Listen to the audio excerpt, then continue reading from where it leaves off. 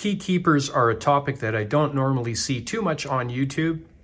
I carry them every single day. They're part of my everyday carry rotation. I use them for so many different things. And in this video, I thought I'd just like to share with you on how I use them. Now let's get on with this video. I can't stand intros.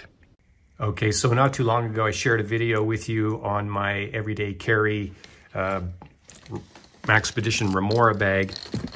And I kind of quickly went over the key keepers that I have on there. Now on these Maxpedition style, when the Velcro starts to go, obviously I just put in a little snap, which works just awesome. So I'm probably going to get a, a, lot more road life out of these. They got a long ways to go. Uh, currently, I'm just hanging these particular keys off of here. Of course, when I get to my destination, these come off and they will go on my belt if need be. Uh, FYI, I did put a little bit of paracord reflective style on the handle. I did talk about that in that video. And the other thing I have on here is another Maxpedition key keeper, except this one is connected to the paracord that's coming around my back, which ties into the front. And again, I put a little snap on because these two have been with me now for probably about nine years now, I'm thinking. So the Velcro is starting to go. It's not as grippy, but with the snaps, I'm good to go for another 100,000 kilometers or so.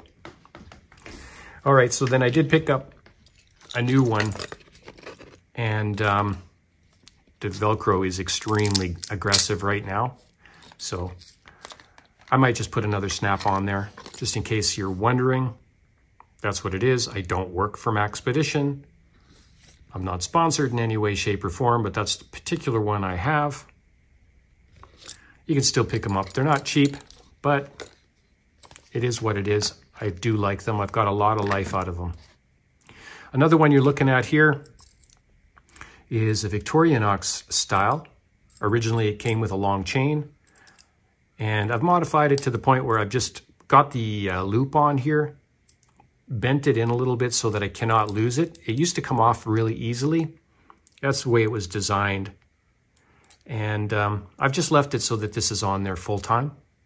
The advantage to this one is, is that you can put it on pants where you're not wearing uh, a belt, for example. You might be doing a video uh, wearing pajamas, and you want to have this on your pajamas with, oh, I don't know, a Swiss champ. Just kidding. But this is how I use it.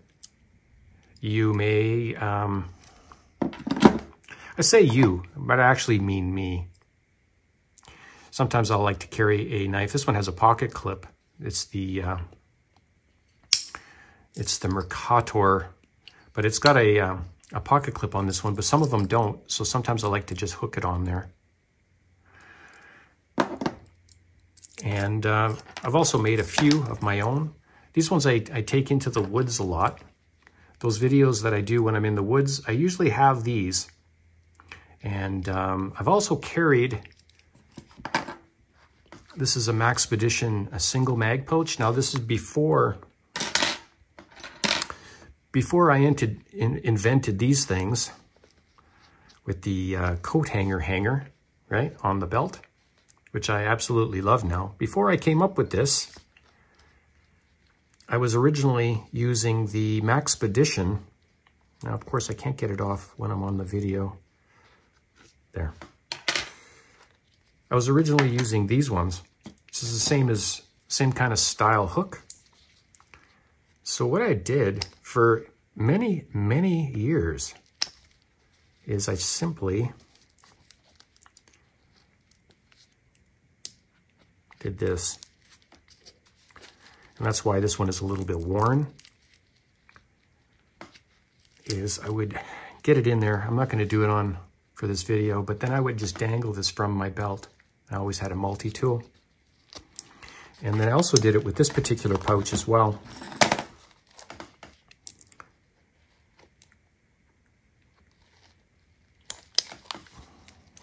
And this is how I carried this pouch for the longest time. And again, this was before I came up with the coat hanger hanger. I don't know if I actually came up with the coat hanger hanger. I've not seen anyone else do it, but... And this is how I use it. I probably should do a separate video on these coming up soon. Just actually make a few, but I don't know if it's necessary because it seems pretty obvious to me. All right, so there's a couple of key keepers. And this one here, I like these ones because they rotate. And depending on what I'm using them for, they actually apply. If you want to make your own, very simple, right? A couple of snaps. I suppose I could do a video on that as well, but again, it seems to me like a no-brainer. These ones are a little bit heavy, but I do like the way they hook because you don't need any hooks, anything special, as long as there's a hoop of some kind on, whether it's a pocket knife or multi-tool, whatever the case might be. Got a couple here, let's try this one. So, if that's something that's interesting to you, that's what I use them for anyway. I use them all the time.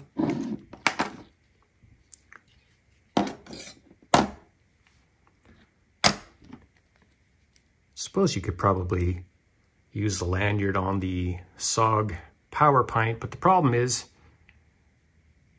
it would probably open up. This one is so loose. I've been asked so many times on how did I get it so smooth.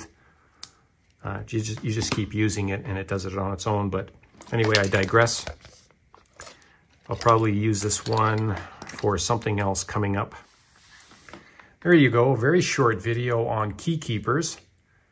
I think they're very useful. I like having them around. Hopefully this was helpful for some of you. We'll talk to you on the next video. Bye for now.